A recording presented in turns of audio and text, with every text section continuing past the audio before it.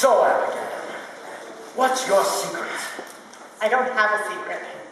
No, no crystal ball in your pocket, no hidden mirrors, no earphone. How are you getting all these answers right? There's no trick, Stan. I've told you that before. Kind of just feels like fate.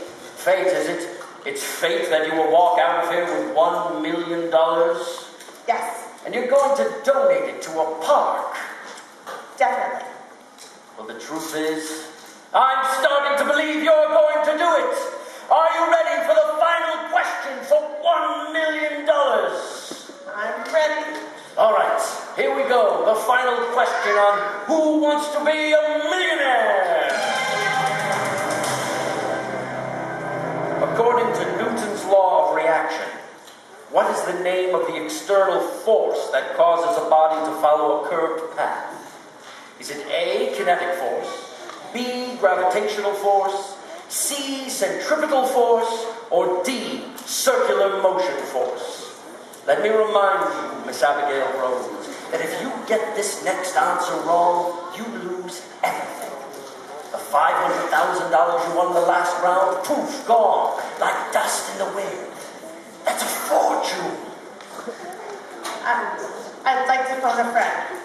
We're going to the wire, the final lifeline. Here we go.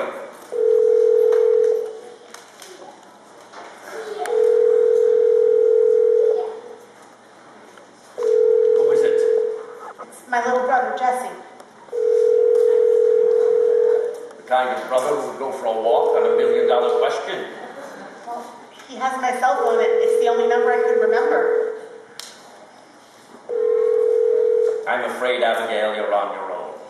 Hello? Hello, Abigail? Jesse, this is Stan Query from Who Wants to Be a Millionaire. I'm here with your sister Abigail. You, Jesse, are our final lifeline.